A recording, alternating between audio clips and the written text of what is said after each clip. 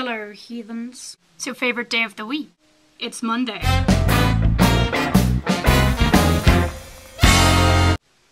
Well, I must say with some dissatisfaction, I was rather disappointed with you lot for not being able to vlog without a theme.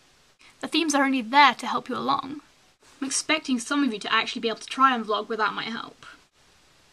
So I'm guessing it's going to be themes every week now until you guys get the hang of it? I better hope you get the hang of it very quickly, or I will run out of themes. Actually, no, I won't run out of themes. I have too many planned. You won't know them. Point number two.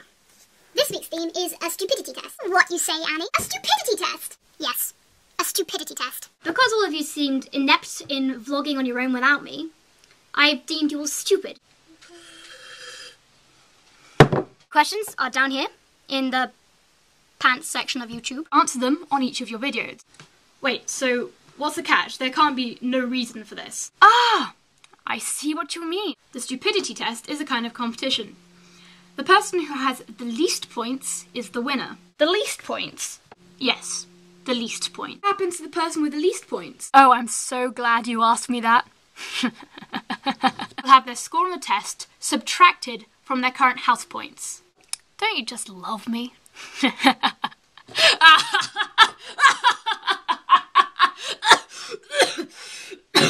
Time to begin.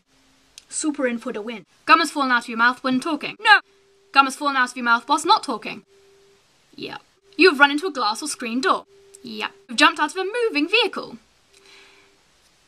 Yep. You've thought of something funny and laughed, and then people have looked at you and given you weird looks. You've run into a tree. Yep. You didn't know it's possible to not lick your own elbow. Nope, I already knew that. Boom, you just tried to lick your own elbow.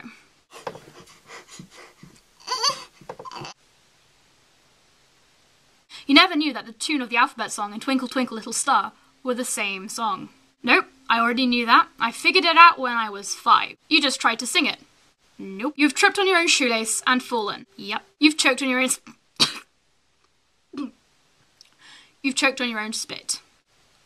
You've seen the, the Matrix and still don't get it. Nope, completely understand it. You didn't notice that in the last question there were two these. Nope, I noticed that. I'm observant. I'm an observant cucumber. Boom. Yeah, observant cucumbers. You just looked at it to check that there were two these. Nope, because I noticed it first. Your hair is blonde or dirty blonde. Nope. People have called you slow.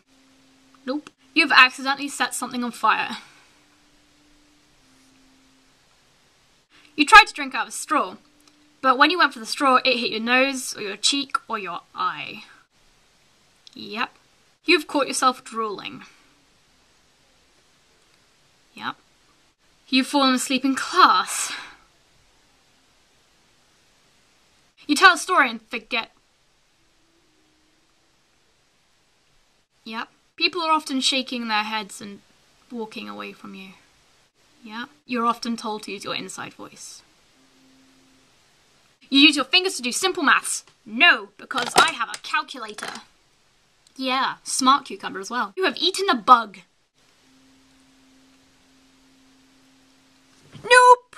Sykes, I've never eaten a bug. That's disgusting. And plus, I'm not a tiny little boy. Boys do that, not girls. Blech. You've put your clothes on backwards or inside out and didn't realise it.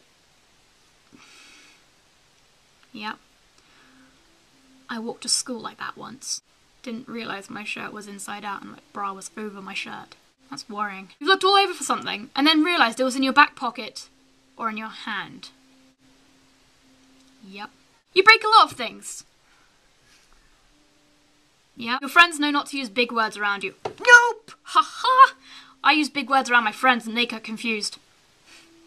I am a smart cucumber. You sometimes tilt your head when you're confused.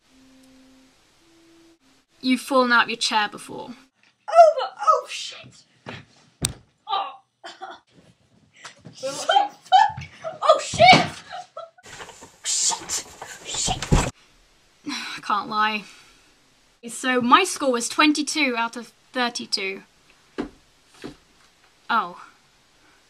Right, I hope one of you gets a higher score than I do, or I'm going to be on minus 16 or something like that.